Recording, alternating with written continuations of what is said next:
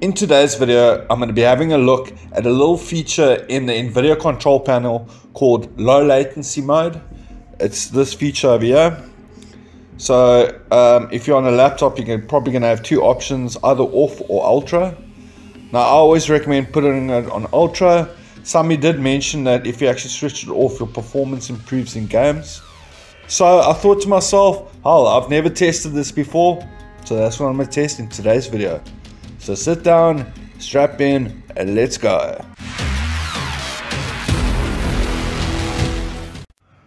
Right guys, before we get started with the benchmark results, I just want to go to the, into the NVIDIA control panel and just read the description. For the low latency mode, I'm on a little quad-core GTX 1650 laptop. So in low latency mode, I've only got the ultra and off settings. So in the description, the latency control reduces latency by limiting the number of frames the CPU can prepare before the frames are processed by the GPU.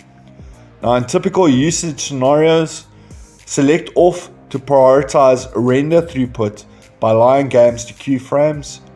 Select on to prioritize latency by limiting queued frames to 1 and then select Ultra to prioritize latency by fully minimizing queued frames. In addition, this mode minimizes VSync latency when both VSync and G-Sync are enabled.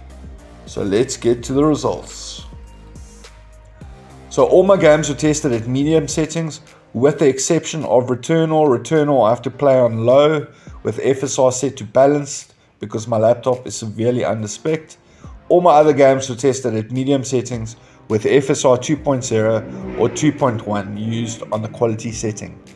Guys, I don't play online games, I don't play FPS games, I play single player games, third person open world mostly.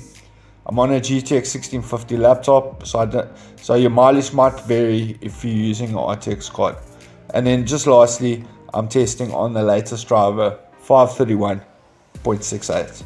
So with latency mode set to off, my default setting is obviously ultra, so I'm just going to show you off quickly first. Initially I was very excited because it doesn't matter which driver or which updates I've used, these are my best results at medium settings for The Last of Us.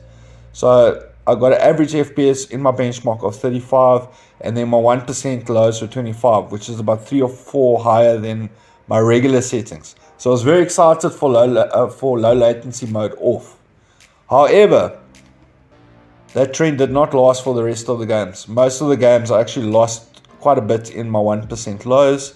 My average FPS was actually higher in certain games, but my 1% lows were worse. So stability really, really suffered.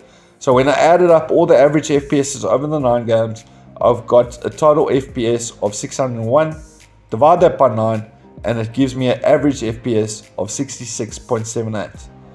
When I add up all the 1% lows over 9 games, I've got 358 FPS divided by 9 and my average FPS per game or 1% low per game is 39.78.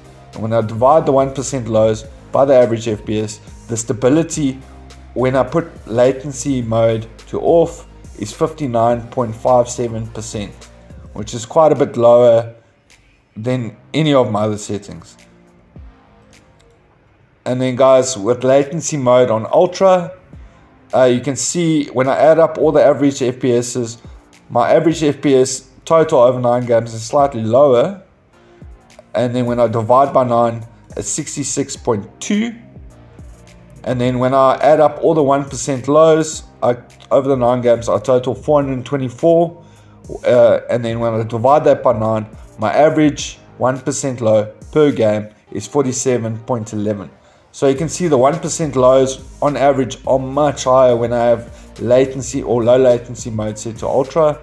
So when I divide the 1% lows by the average FPS, my stability um, when setting latency mode to ultra is 71.12%.